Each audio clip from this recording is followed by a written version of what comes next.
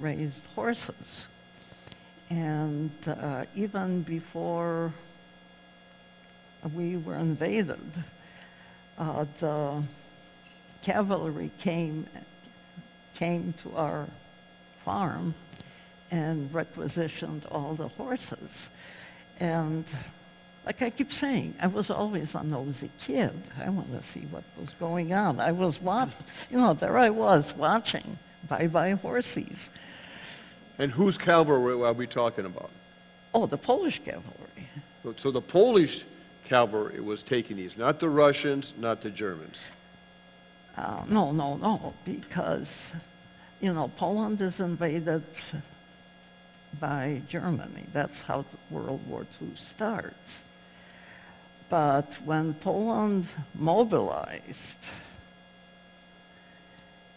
in response to the German threat, uh, Poland in 1939 wasn't so terribly motorized.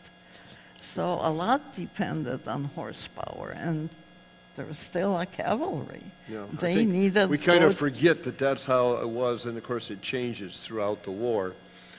So um, the Germans are coming from the west to invade Poland, and the Russians are coming from the northeast to get their piece of Poland. What is going to happen with your family? Well, I do recall. See, the German invasion was long ways from us. So the first enemy to cross our doorstep were the Soviet Union forces. And one of the things that happened was my uncle was put on one of the lead tanks and given a ride all around the, the area. Well, everyone seemed to think he was a goner, but no, they, they let him get off. Uh, it's a real threat in the sense that we are landowners. Therefore, we are capitalist pigs. Mind you, Soviet Union in those days was communist. Uh, capitalist pigs were not very liked, well liked.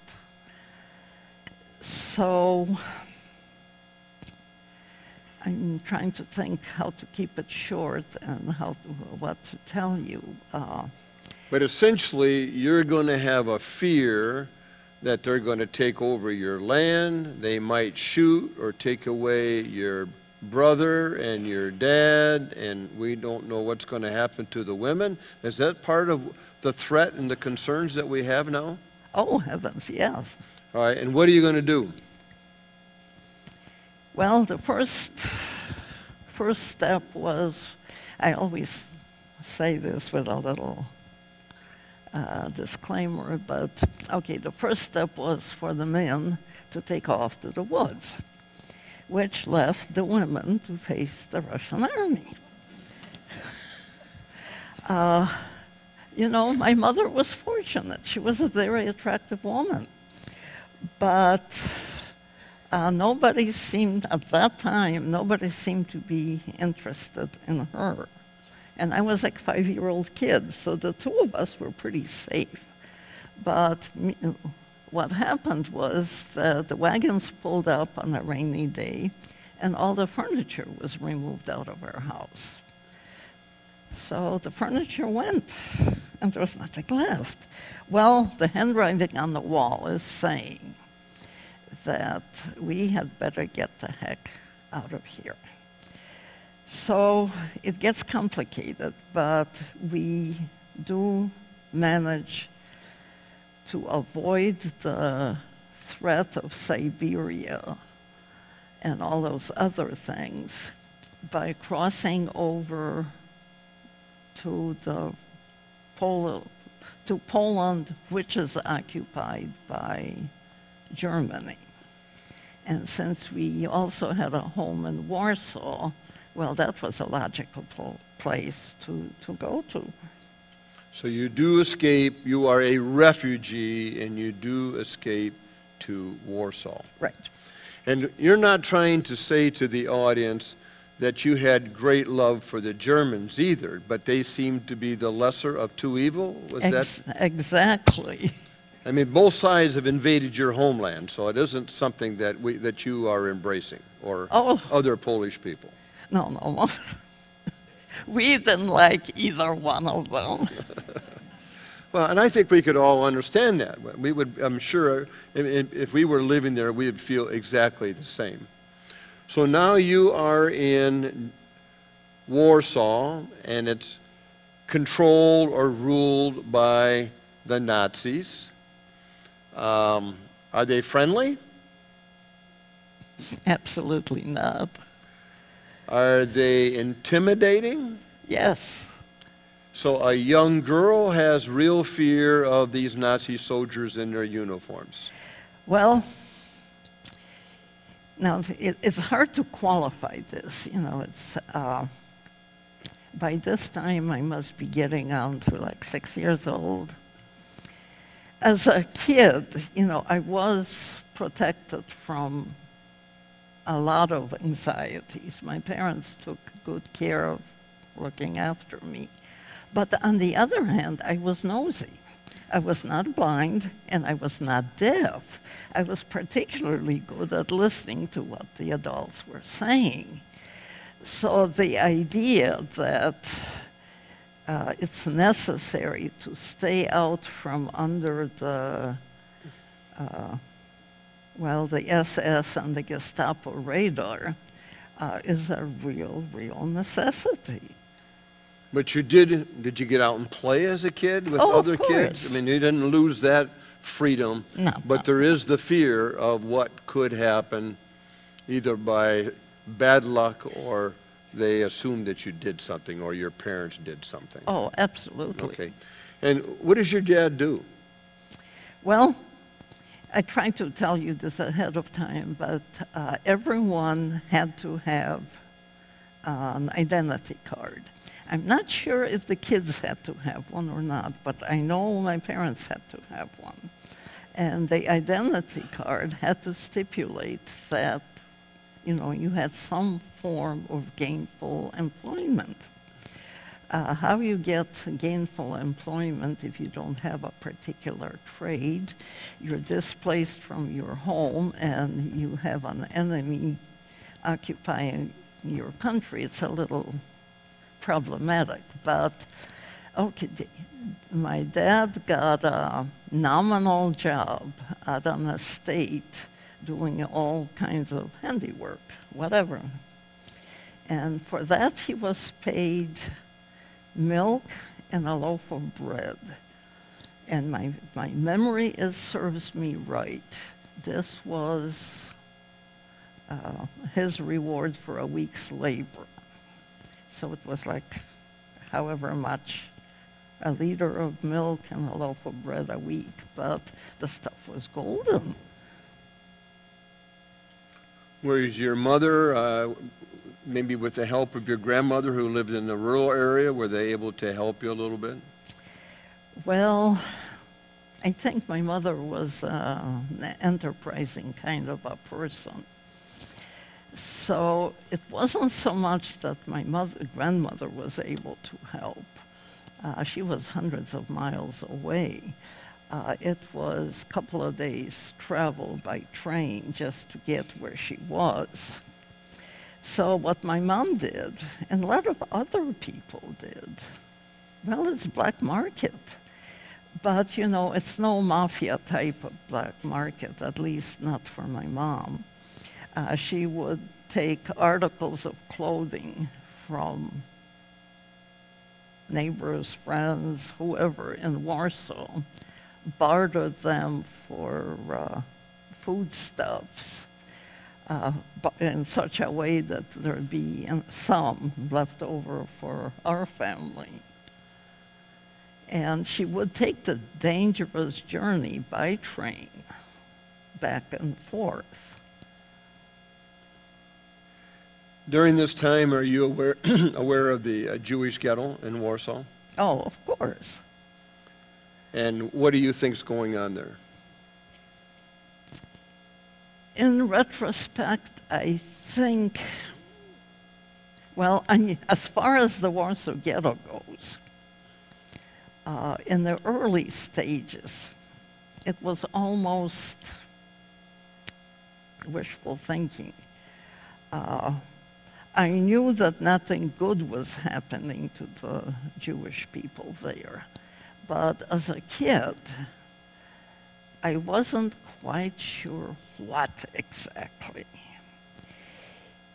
But over time, it penetrated even my childish mind that the Jewish people somehow are getting killed. And in 1943, it was April, uh, where the much diminished ghetto population rose up in an uprising to fight uh, the oppressors. Well, we knew very well that the fight, fighting was going on, and it was in, well, let's see, April into May. And from where we lived, and you, you know, if you see uh, a red glow on the horizon, uh, we could see the, the burning of the ghetto at night. Did you tell me that there was a neighbor across the street who was doing what she could to supply a haven for maybe young Jewish children? Yes, no, that she did. Uh, if I remember correctly, I, know, I remember the boy very distinctly because he was older than the rest of us kids in the block. But I think there were two little girls, not all that little because we all played together. And the word in the neighborhood was that these were this lady's cousin's children come to visit Warsaw. Uh, since everybody who lived in that area knew very well that there was there were no cousins, uh, everybody knew that these were Jewish kids. I mean, talk about if anybody the risk of somebody being loose mouthed was just tremendous. But okay, the risk didn't apparently didn't materialize. Did you have another neighbor that um, wrote uh, for a underground newspaper? I'm not sure if he wrote or he disseminated them. Well, if he wasn't the originator, he certainly was a member of the underground and he passed on the bulletins. Uh, my dad used to visit him regularly. I, ever so often, I would catch, eavesdrop on my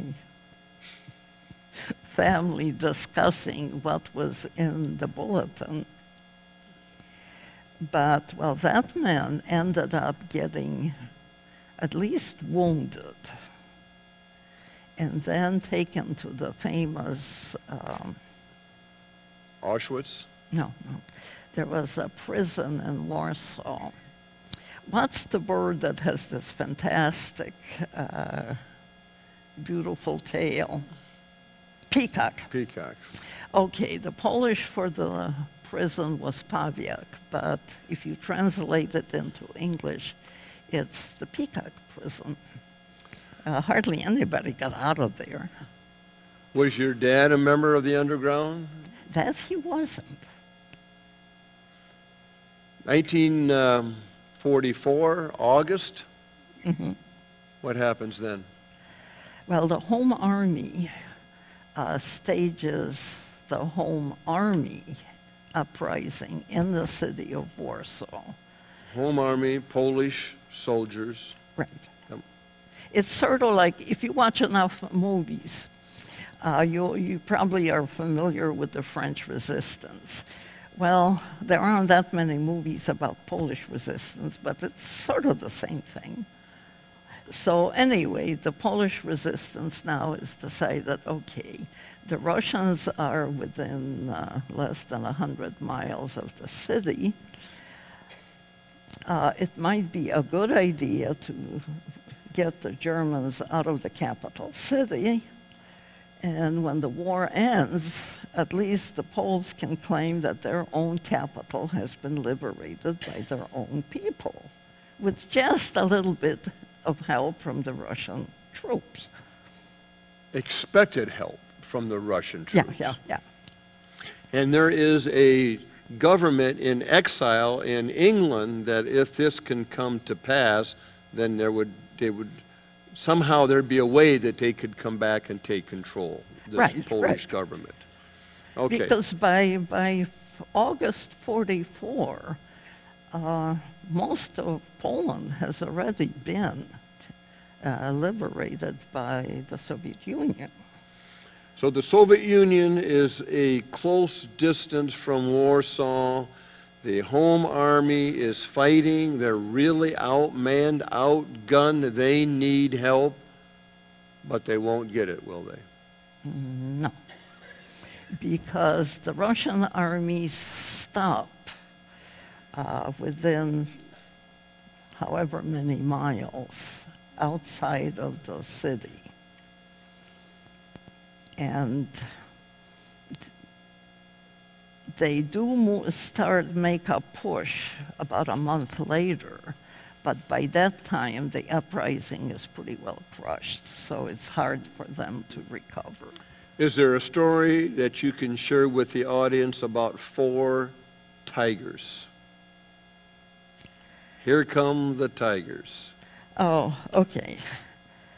Uh, see, when the uprising started on August 1, it was almost sounds like a story, you know, it was a day like any other day, which it was.